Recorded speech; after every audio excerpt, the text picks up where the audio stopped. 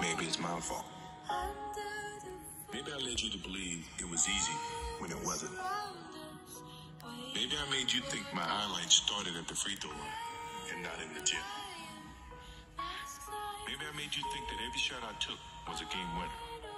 Maybe it's my fault that you didn't see that failure gave me strength, that my pain was my motivation. Maybe I led you to believe that basketball was a God given gift and not something I worked for every single day of my life. Or maybe you're just making excuses.